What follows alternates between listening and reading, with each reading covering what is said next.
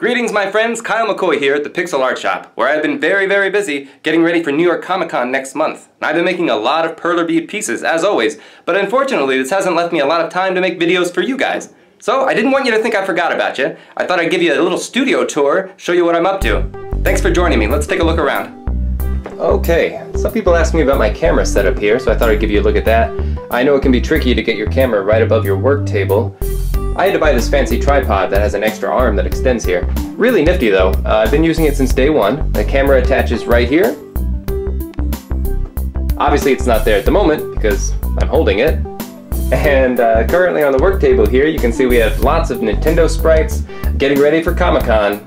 I try to promote my original designs more than most stuff, but I won't lie, people love the Nintendo stuff. I always sell out of Marios and Mega Mans and Links and all that, so hey, sometimes you gotta give the people what they want. I'll have plenty of my own designs there too. As you can see, I'm working on the House from Up project here. I'm sure I don't have to tell you guys, but this is such a tedious craft. I appreciate your patience when it takes me a few weeks to get a new project video out. You gotta remember, I'm always reducing hours and hours of work footage to just a few minutes for you guys, so as my channel grows and I get more subscribers, I want to make better and better videos. Here are my bead storage containers, really nifty, I got these at the container store. I have this extra one here for some of the more offbeat colors like glow in the dark here, uh, gold. Here's the clear beads, wow look how clear they are. Nah, I'm just kidding. Here's the clear beads. Here's where I work on my patterns. The current work in progress, I'm redesigning my pattern for the cover of Action Comics number one. That's the first appearance of Superman. Really looking forward to finishing that up, making it in perler beads, releasing the pattern for you guys to make your own. I think it's going to turn out really cool. Here I always write down when I'm working on a project. I like to see how long it takes me, and if I make the piece again, see if I can beat my previous time, like this Rick and Morty piece. That's a pretty popular piece of mine. If I bring this one around to conventions, it always sells. So I've made that a few times. The first time it took me about 5 hours, but now I've got that down to about 3. Oh, my lucky decoder ring. I often feel like figuring out the perfect pattern is a lot like cracking a code. This is where I keep all the pieces I currently have waiting to be adopted. Some more fun Nintendo stuff for Comic-Con.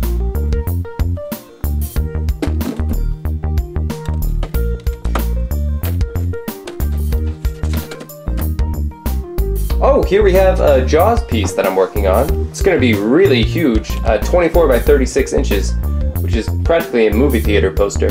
It's going to have the boat and everything. Jaws is very, very important to me for reasons I will get into in the official video. There's lots of other pieces here that are waiting to be mounted on canvas. I actually just ran out of my light blue paint, so these guys are waiting patiently for me to pick up some more.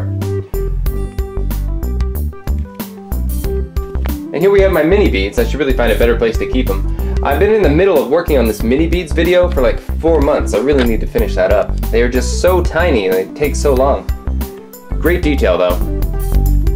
Here's a bucket of perler beads. I'm not sure if I've told you guys this before, but I sometimes host DIY perler bead events called the Make It and Take It. At the end of those, I take all the leftover beads and toss them into this bucket. I'll sort them all out one day. Maybe. But for now, I can do this. So satisfying.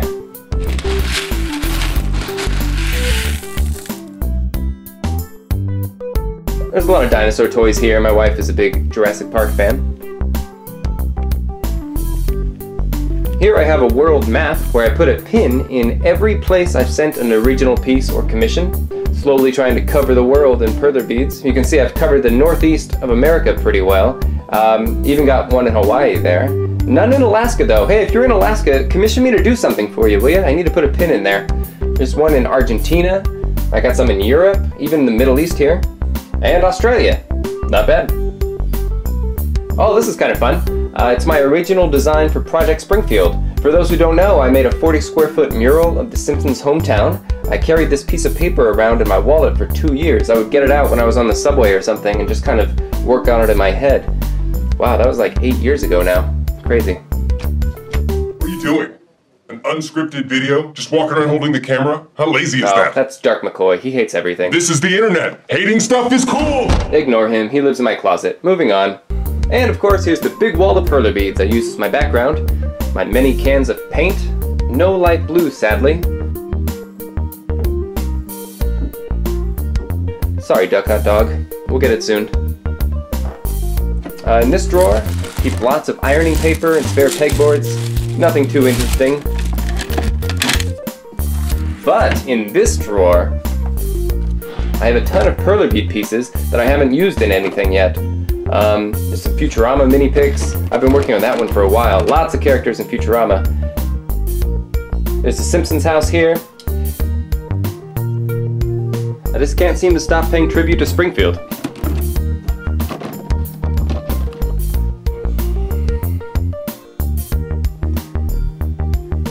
I made these planet designs a few months ago, thinking about doing a planetary coaster set, or maybe a, like a mobile.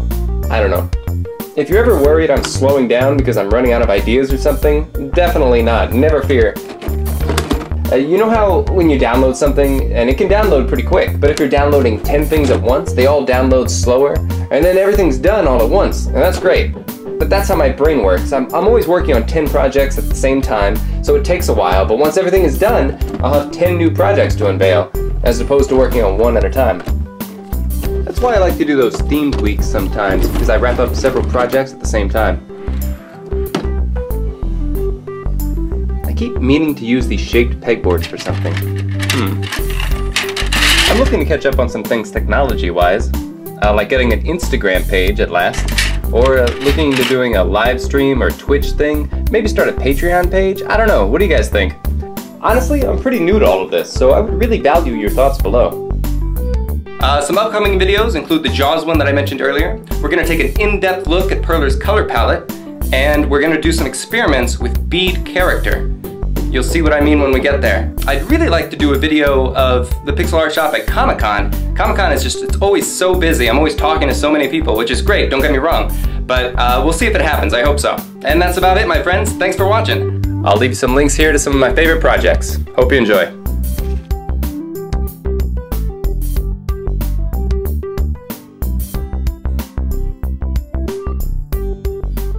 And this is my keyboard that I try to learn how to play at least once a year. Dang it. Yeah, maybe next year.